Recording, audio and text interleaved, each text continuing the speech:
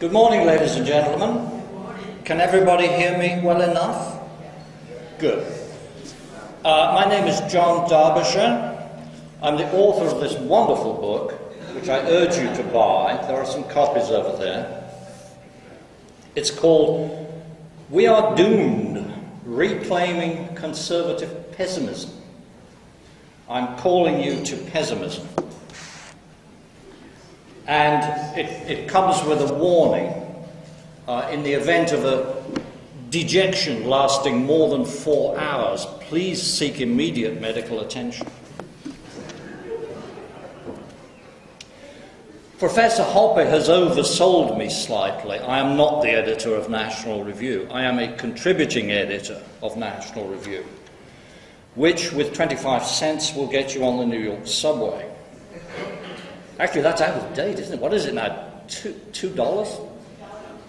Two dollars twenty-five cents. Oh. Thank goodness I don't have to ride the subway. And also, my father in law was not a general in the People's Liberation Army, he was only a colonel. He, he died recently.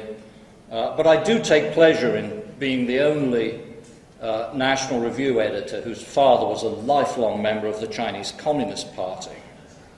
And he was a very nice man, I should say, in tribute to my father in law, a fine Chinese gentleman.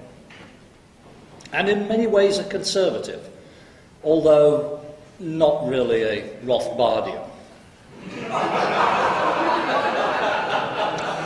well, the title of my talk today is Understanding China and the Chinese. I'm going to take that very literally, so let me make it clear that the topic of my talk is not China and the Chinese, about both of which I know all too little. The topic is understanding China and the Chinese, uh, in which I'm something of a world expert, having been trying to do it for 40 years. To make a claim to understanding China and the Chinese, as opposed to merely understanding the business of trying to understand them, is pretty darn presumptuous. For most of the past 25 years, I have lived in the United States, which is a cousin nation to the one that I was raised in. Yet there are many things about the USA I still don't understand, as evidenced by the fact that in my writings, I still occasionally bang my shins up against uh, some aspect of the national psyche that I didn't even know was there. And I still can't understand why people think that peanut butter goes with jam. Eight years ago, I marveled at the confidence with which American bureaucrats, military staff officers, businessmen and think tank whiz kids breezed into Iraq, declaring that they would remake that ancient nation into a modern liberal democracy. If I, after all these years in America, still can't pronounce the word schedule correctly, what chance did George W. Bush's proconsuls have of effecting social transformation in a country they'd only just learned to locate on a map? I think subsequent events have justified my skepticism. We've transformed Iraq all right, but we've transformed it into a client state of Iran, which is not what was intended. So, what chance do I have what chance does any Westerner have of understanding China and the Chinese, let alone of transmitting any understanding to you in 30 minutes? Modern commentators on China also have before them the dreadful example of the three week sinologist.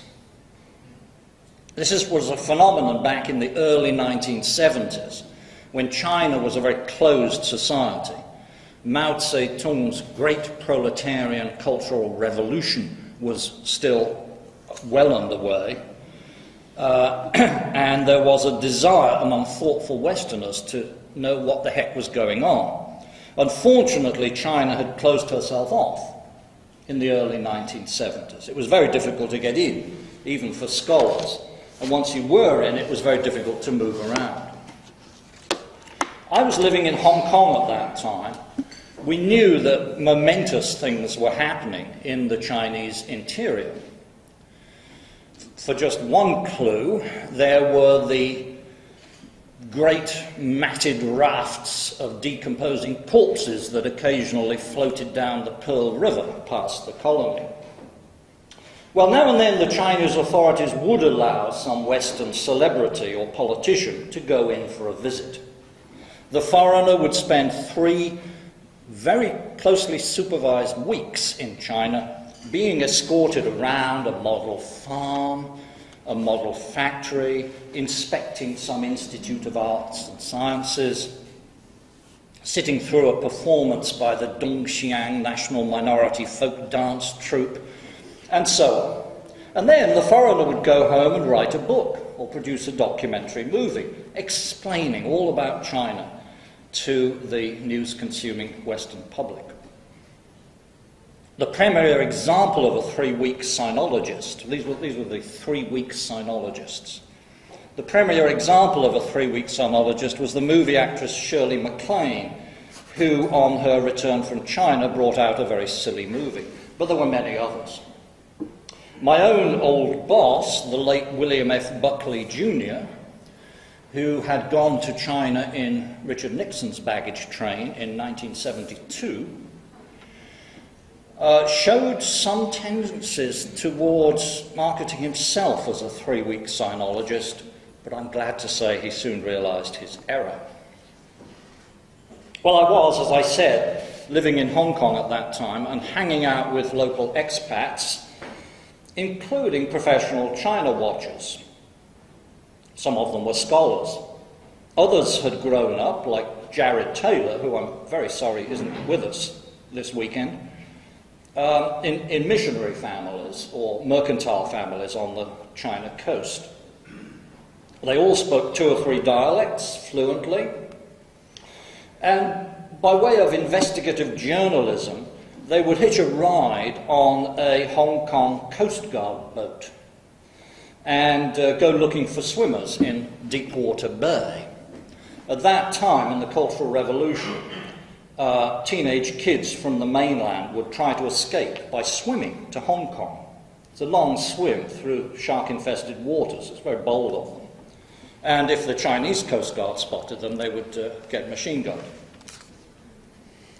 So uh, these, these China watchers, these, these friends of mine who were professional China watchers, would go out, they'd be on the deck of some Coast Guard boat, and there'd be a, some teenage kid sitting there on, on, on the deck soaking wet, wrapped in a blanket.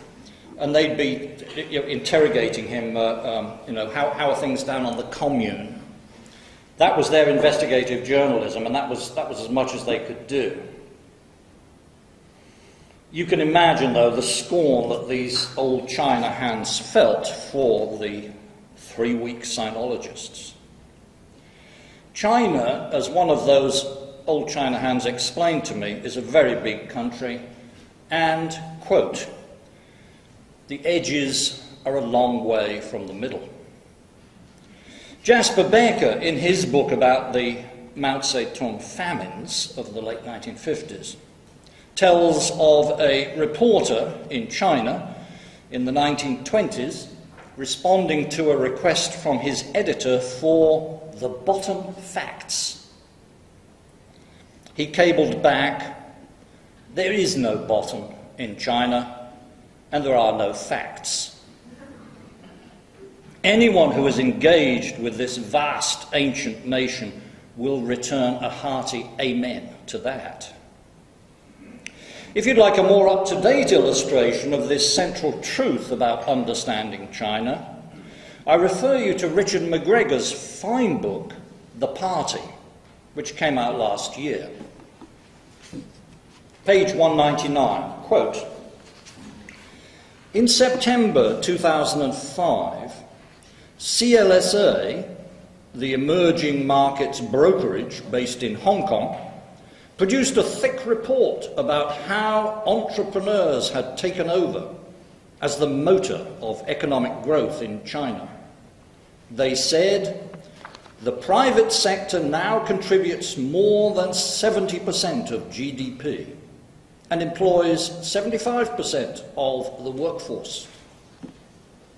A week later, a rival and equally respected China research unit at UBS, the Swiss bank, put out a rejoinder saying the private sector, quote, accounts for no more than 30% of the economy, whichever indicator you use.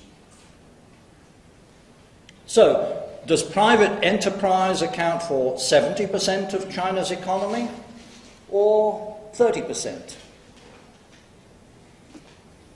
Don't ask me.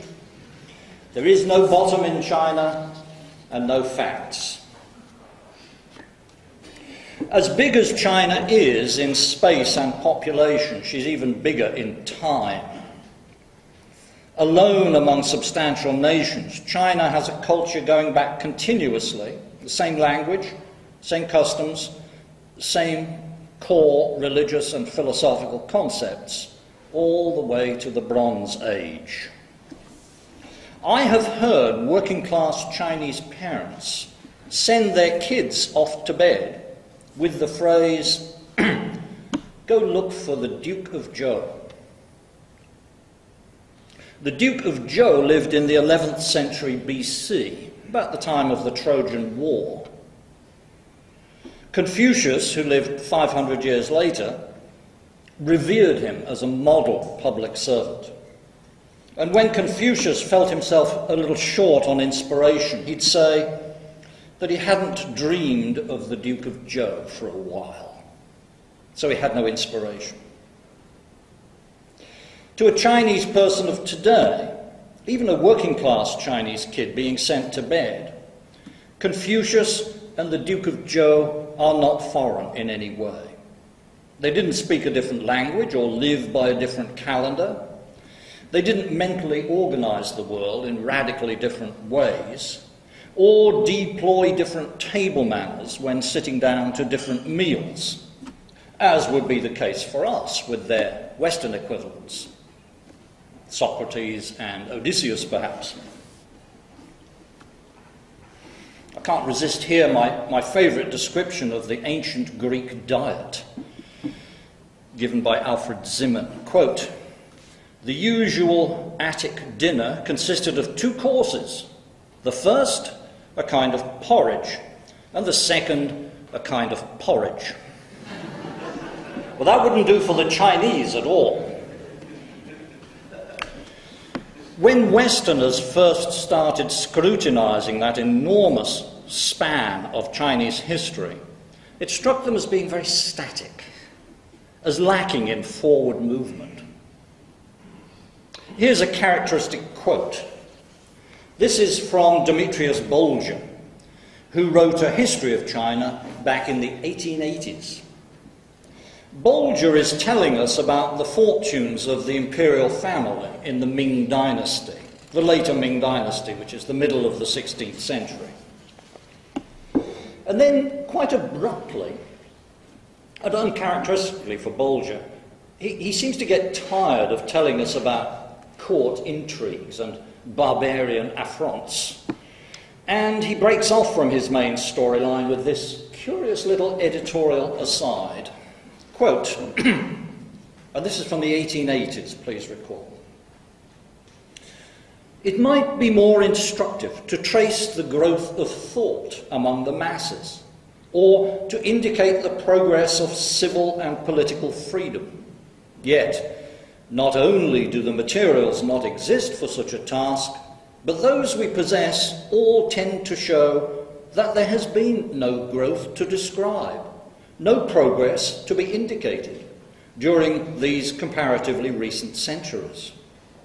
It is the peculiar and distinguishing characteristic of Chinese history that the people and their institutions have remained practically unchanged and the same from a very early period.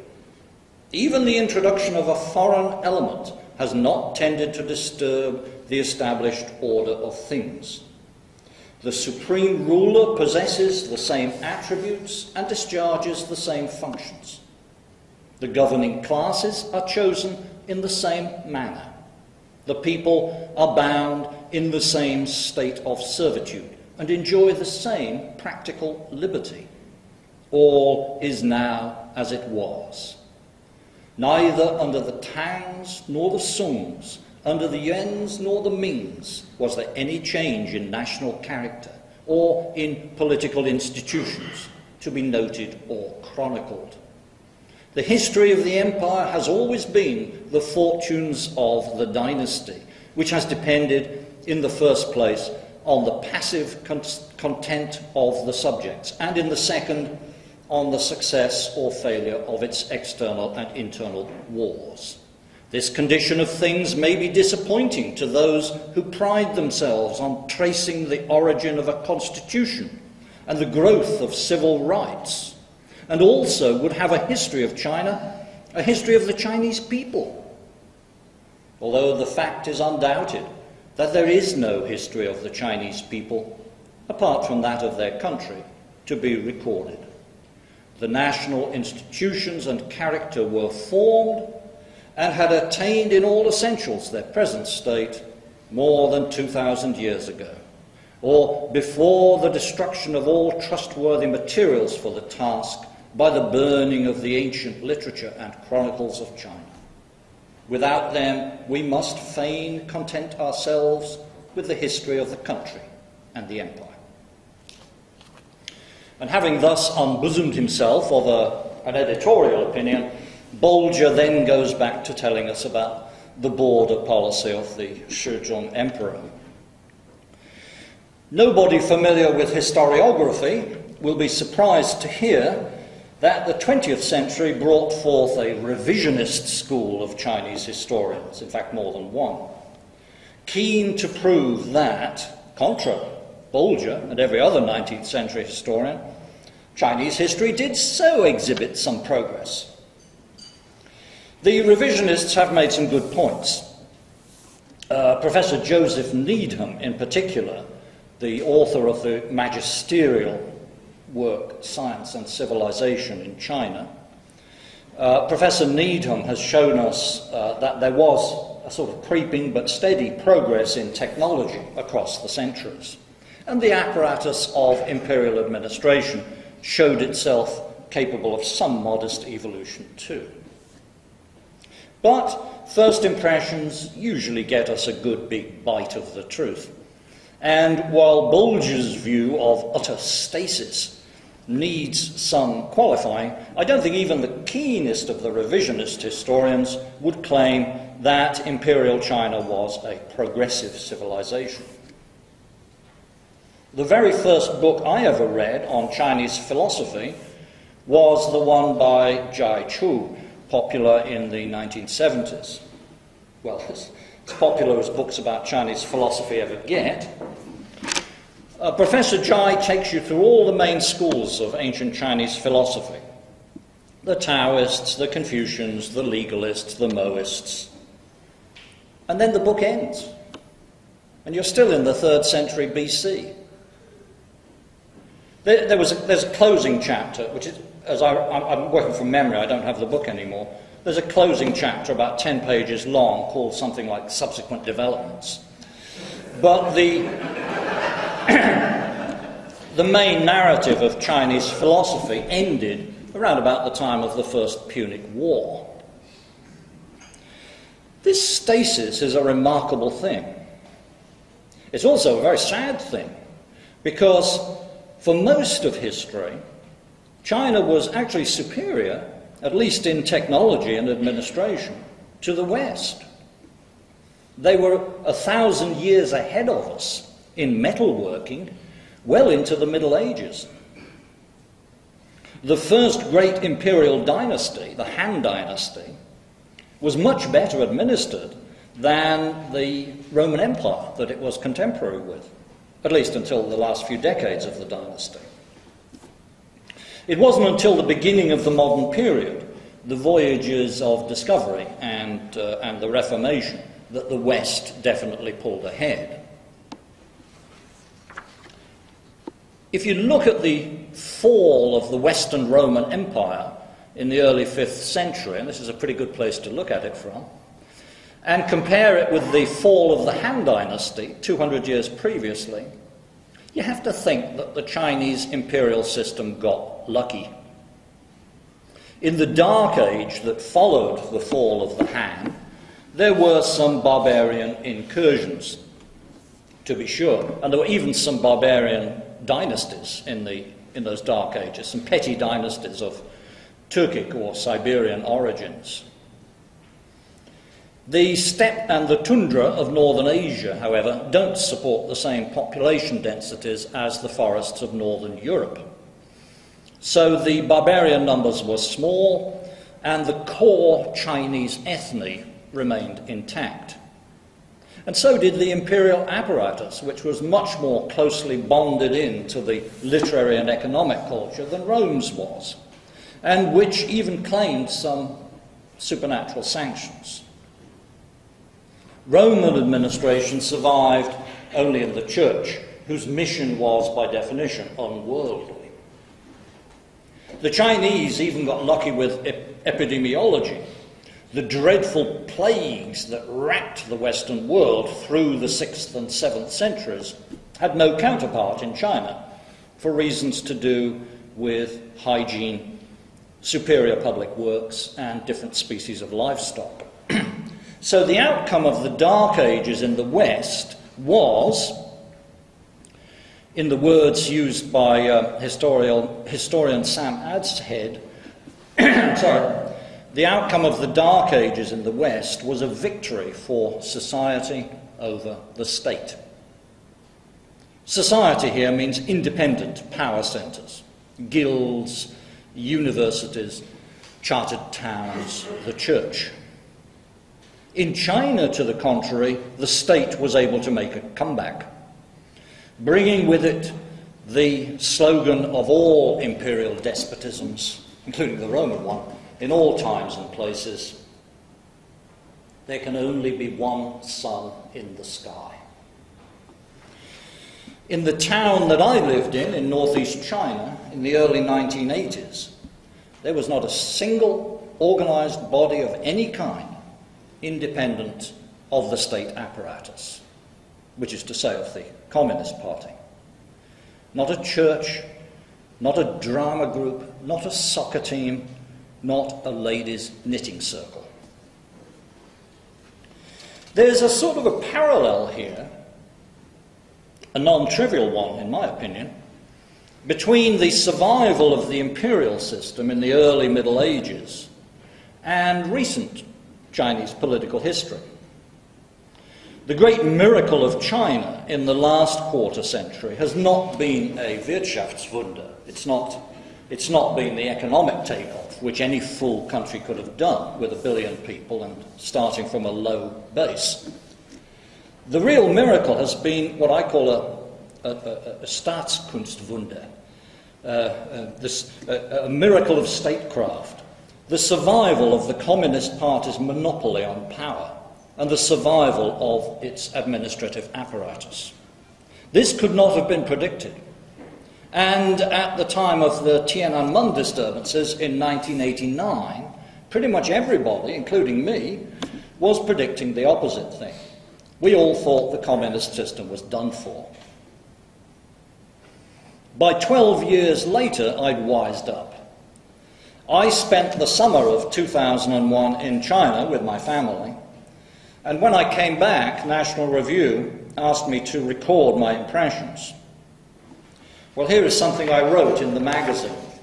this is September 17, 2001.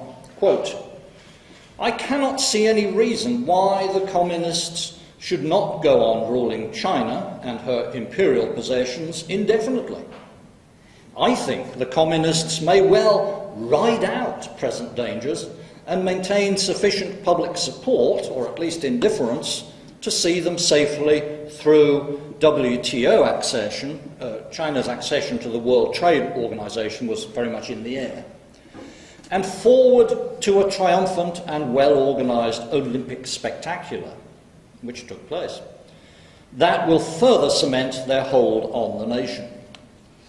Prognostic, I'm still quoting myself here, few greater pleasures in life than quoting myself.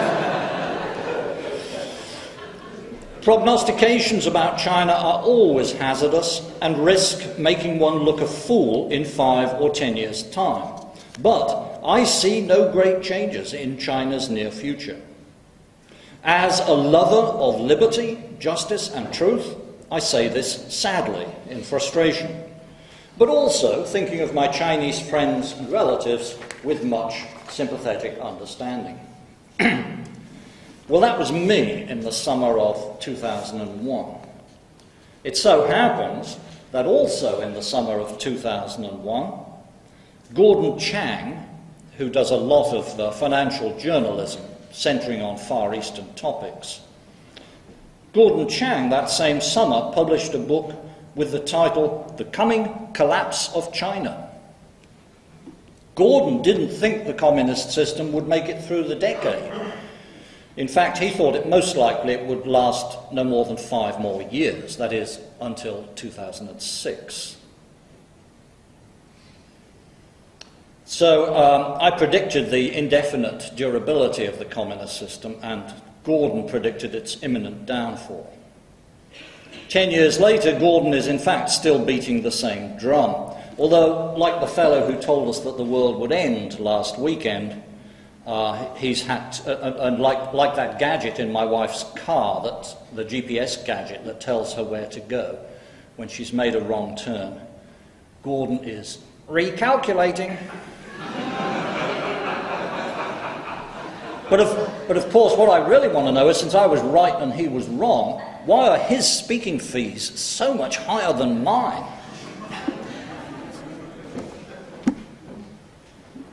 Is there any prospect for an open and civil society in China? A society that might be hospitable to the kinds of ideas that we're addressing at this conference? My answer to that would be it depends what you mean by China. In the first place, a people who have long been accustomed to despotic government certainly can advance quickly into law and constitutionalism. We are at this moment standing on the soil of a nation that did exactly that. The Ottoman Empire lasted 600 years, and it was as despotic as you please. But then it gave birth to a constitutional republic which still looks pretty robust 90 years later. I'm not going to encroach on Professor Stone's territory here. He may have other things to say about that. And if you want to tell me that Turkey's constitutionalism was sometimes honoured more in the breach than in the observance, I won't argue with you. But an empire it was, a republic it became, and a republic it still is. Turkey's transition from empire to republic was, of course, by no means painless and encompassed many well advertised horrors. One precondition for it was that the Turks first had to lose their non Turkish territories. Does this have any application to China? Unfortunately, it does. Present day China is not an ethno state. Mao Zedong's greatest achievement, in fact, was to recreate the old Manchu Empire, minus Outer Mongolia. And in fact, the loss of Outer Mongolia rankled with Mao. When, uh, when, Nikita, when Nikita Khrushchev visited China in 1954, Mao's first remark to him, according to Khrushchev, and presumably after some friendly formalities, Mao's first remark was a demand for the return of Outer Mongolia, which was at that point a Soviet satellite. Of the territory of the present day Chinese People's, Chinese People's Republic, less than half has a base population of ethnic Chinese. One quarter is Tibetan, Uh, and that's much bigger than the Tibet Autonomous Region that you see on maps, by the way. One sixth is Turkic. One tenth is Mongolian. The communists have made strenuous efforts to colonize these regions, But only in Inner Mongolia does their presence look truly irreversible to me. Both Tibet and eastern Turkestan maintain strong ethno nationalist aspirations. Both of them have governments in exile. And yes, I know governments in exile are a bit of a joke, but you shouldn't laugh too easily. Uh, I can remember in London in the mid 1980s at some sort of official function encountering the head of the Lithuanian mission in exile. Little frail, courteous fellow whose presence everyone found a little bit embarrassing. I mean, you know, Lithuanian government in exile, really. There hadn't been an independent Lithuania for 40 years, and nobody thought there ever would be. Ten years later, Lithuania was independent again.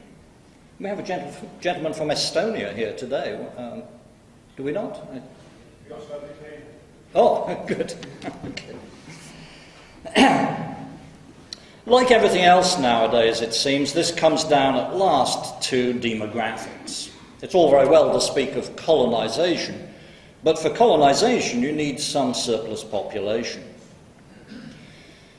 We're just, we, China watchers, are just chewing over the results of last year's census in China. The figures aren't yet complete, and they're Chinese figures, which, well, we have to take what we can get. But the figures we have suggest a total fertility rate in China of 1.4, perhaps 1.3. That's uh, children per woman per female lifetime. That's not quite as bad as China, uh, as Japan and Korea, which are down in the 1.2 or 1.1 zone, but it's bad enough, and it's been going on long enough that China's population will go over the hump into numerical decline sometime in the next five to eight years. China's working age population has almost certainly already gone over the hump and is now declining. For holding on by force to vast inhospitable regions far from your civilizational centre, this does not make for a good prognosis. So if you meet a member of the Chinese or East Turkestan government in exile, be very polite. We know that Chinese people are capable of an open and critical society under rational modern government. We know that because they already have one in Taiwan. If the mainland Chinese retreat to their ethnic homeland, as the Turks did 90 years ago, if they get out of the empire business, I believe they will shake off their ancient attachment to bureaucratic despotism as quickly and decisively as the Turks did. I only hope, for the sake of my country in law, that they will do so with less bloodshed. Thank you, ladies and gentlemen.